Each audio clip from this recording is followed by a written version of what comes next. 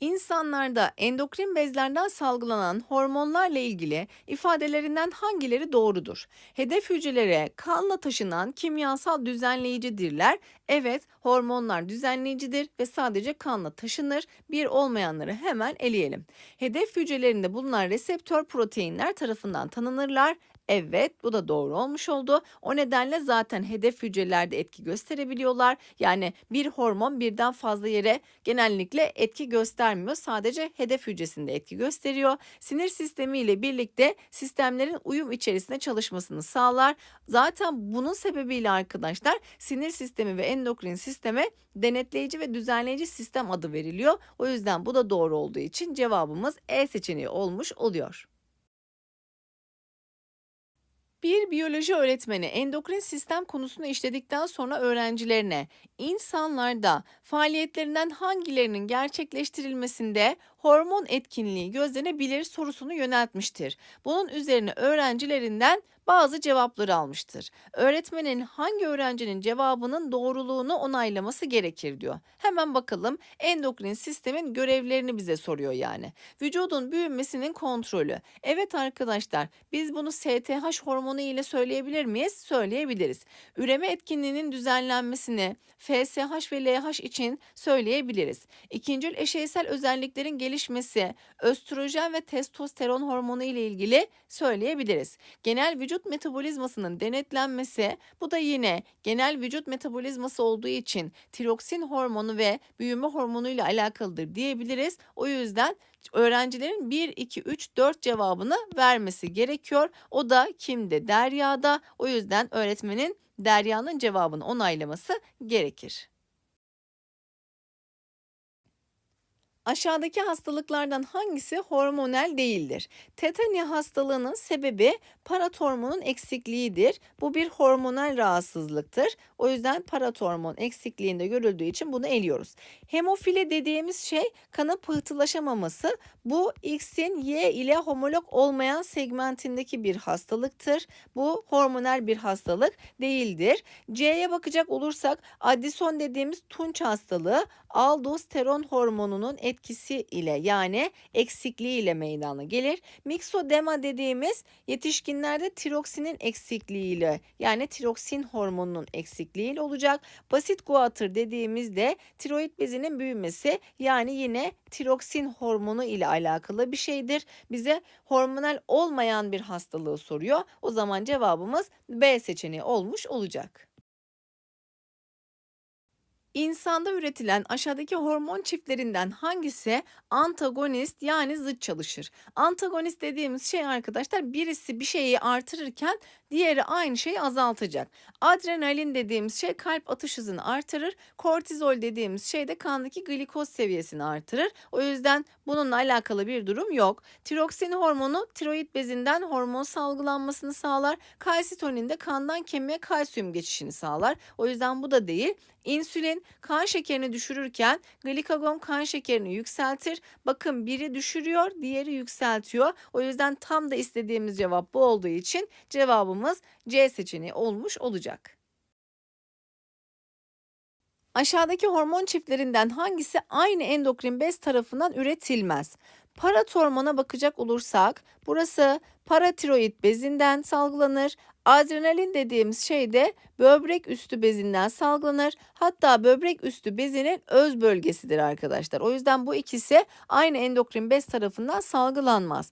Kortizol ve aldosteron için niye söyleyebiliriz? Böbrek üstü bezini söyleyebiliriz. Tiroksin ve kalsitonin için tiroid bezini örnek verelim. Glikogon ve insülin için pankreastır diyoruz. FSH ve LH için de hipofiz bezidir diyoruz arkadaşlar. Bizim için cevabımız o zaman A seçeneği olmuş olacak. Aşağıda hipofiz bezinden salgılanan numaralandırılmış hormonların etkilediği organlar gösterilmiştir. Buna göre aşağıdaki seçeneklerin hangisinde hormon doğru olarak adlandırılmamıştır diyor. Hemen bakalım. Birinci olan yer neresi? Hipofizden kemiklere etki ediyormuş. O zaman STH olabilir mi? Evet olabilir. 2 ile gösterilen yer TSH'tır diyor. Tiroid bezini etkilediği için doğrudur. 3 numaralı gösterilen yer süt bezlerini uyardığı için LTH demeli belliydi. O zaman yanlış cevabımız bu olmuş oldu. Diğerlerine bakalım. Yumurtalıkları uyaran FSH'tır. 5 numaralı yerde nedir? Böbrek üstünü bezini uyardığı için ACTH'tır. Doğru olmuş oldu. Yanlış olan seçeneğimiz ise C seçeneği olarak karşımıza çıktı. Bir insanda adrenalin hormonu normalden fazla salgılanırsa faktörlerinden hangilerinin artması beklenir? Adrenalin hormonu heyecan hormonudur değil mi arkadaşlar? Evet. O zaman kalp atış hızı artar mı? Artar. Kalp atış hızı arttığı için kan basıncı ve soluk alıp verme hızı da artar mı? Artar. Ancak kandaki kalsiyum miktarını artıran hormonumuz adrenalin değil parat hormondur arkadaşlar. Parat hormonun görevi ka kemikten kana kalsiyum geçişini sağlamaktır. O nedenle cevabımız 4 haricindekiler yani 1, 2 ve 3 olacak arkadaşlar. Yani D seçeneği olarak karşımıza çıkıyor. İnsan vücudunda aşağıdaki verilen düzenlemelerden hangisinde hipofiz bezi rol oynamaz? Derinin renginin koyulaşması. Bunu sağlar mı? Melanin pigmenti ile sağlar. Vücudun su dengesinin ayarlanması. Bunu da sağlar. Kan şekerinin düşürülmesine hipofiz bezi değil, pankreas bezi sağlar değil mi? Ne ile sağlar? İnsülin hormonu ile o yüzden cevabımız C seçeneği olacak. Diğerlerine de bakalım. Metabolizma hızının artırılması, Evet bunu da sağlar. Süt bezlerinden sütün salgılanmasında yine hipofiz bezi rol oynar. Bunu da LTH hormonu etkisiyle yapar. Yalnız bizim cevabımız C seçeneği olmuş olacak. Hipofiz bezinin özelliklerinden hangileri tiroid bezi için de geçerlidir? Salgısını kana verme zaten bunlar hormonal bezler olduğu için salgılarını kana vermekten başka çareleri yok. O yüzden bir olmayanları eleyelim. Birden fazla hormon salgılama evet hipofiz bezi zaten çok fazla hormon salgılar. Tiroid bezi de ne salgılar? Tiroksin hormonu ve kalsitonin hormonu salgılar. O yüzden bu da doğru. Doğrudan hipotalamus tarafından kontrol edilme sadece hipofiz hipofiz bezi için geçerli, tiroid bezi için değil. O yüzden cevabımız D seçeneği olmuş oldu. İnsanda bir hormonun salgılanması olaylarından hangileriyle gerçekleşir? Sinirsel uyartılar sonucunda hormonlar salgılanabilir. Uyarıcı hormonların kandaki düzeyinin artması sonucu negatif geri bildirim yapılarak hormon salgılanması ya da baskılanması sağlanabilir. Bir maddenin kandaki miktarının artması ya da azalması sonucu aynen şu söylediğim gibi yine hormonun salgılanması ya da baskılanması gerçekleşebilir. Cevabımız E seçeneği olmuş olacak. Yukarıdaki grafik sağlıklı bir bireyin kanındaki glikoz miktarının zamana bağlı değişimini göstermektedir. Buna göre belirtilen zaman dilimlerinde gerçekleşen olaylarla ilgili yargılarından hangileri söylenebilir? T1 ve T4 zaman aralığında hipofiz bezi pankreası uyarmıştır diyor. Arkadaşlar hipofiz bezi de bir bez, pankreas da bir bez değil mi? Ne olacak? Sadece hipotalamus hipofiz bezini uyarabilir. Yani hipofiz bezi pankreası uyaramaz. O yüzden bu doğru olmadı. Bir olanları hemen eleyelim.